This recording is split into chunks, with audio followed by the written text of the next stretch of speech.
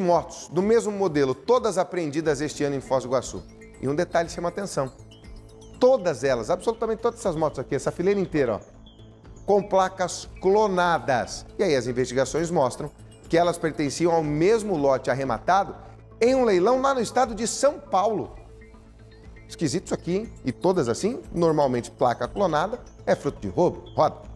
As motos são todas do mesmo modelo, mas outra coincidência chamou a atenção dos fiscais de trânsito. Todas elas são motos clonadas. Verificou-se que essa moto que estava em Foz do Iguaçu estava rodando também no Rio de Janeiro, em outras situações, São Paulo. De janeiro até agora foram apreendidas cerca de 20 motos desse mesmo modelo. Um levantamento feito pelo Fostrans aponta que essas motos foram arrematadas por uma empresa no estado de São Paulo.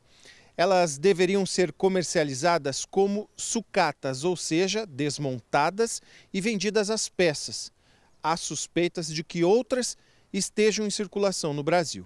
O caso está com a Polícia Civil de Foz do Iguaçu, que preferiu não falar sobre o andamento das investigações. Mas já se sabe que essas motos chegaram na fronteira por meio de transportadoras. Para evitar esse problema de, de, de reutilização de veículos de duas rodas para circulação, o Detran do Paraná fez a opção, então, de não vender mais para sucata. Veículo de duas rodas, ou eles estão em boas condições e são vendidos para circulação, ou eles são vendidos todos para siderúrgicas. Todos os donos das motos apreendidas são investigados por receptação. Verificou-se que uma moto, hoje que vale 13, 14, não sei o valor exato, mas estava sendo vendido em Foz por 5 mil reais, 7 mil reais. É isso, gente. Quando a esmola é demais do santo, tem que desconfiar. Há é, materiais, por exemplo, de leilão que são colocados como inservíveis e vão para sucata mesmo.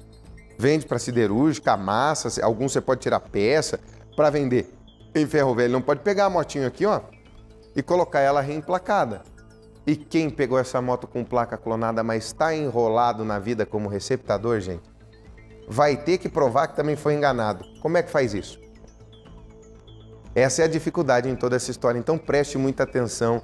Vá, na dúvida, vá a um despachante. Pega o chassi, pega o número da placa, vá num, num despachante, pega o documento e pergunte. Porque depois que você comprou e foi cair e foi colocado como receptador, aí o rolo é gigantesco. E as motinhas não pareciam ser inservíveis, ó, estão todas novinhas, né? É muito esquisita essa história. É sempre tem esquema. Você já reparou que sempre tem esquema grande no meio?